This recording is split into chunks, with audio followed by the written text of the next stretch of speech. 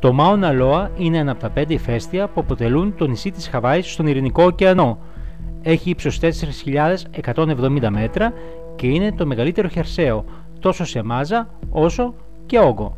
Το ηφαίστειο ξεκίνησε την δράση του 700.000 χρόνια πριν, αρχικά σαν υποθαλάσσιο και στη συνέχεια ξεπέρασε πάνω από την επιφάνεια της θάλασσας περίπου 400.000 χρόνια πριν. Από το 1832 το Μάουνο Ελόα έχει εκραγεί 39 φορές. Τελευταία έκρηξη ήταν το 1984. Καμία από τις τελευταίες εκρήξεις του ηφαιστείου δεν προκάλεσε θύματα. Λόγω του κινδύνου που υπάρχει για τα κοντινά αστικά κέντρα, παρακολουθείται από το 1912 καθημερινά από ειδικά παρατηρητήρια.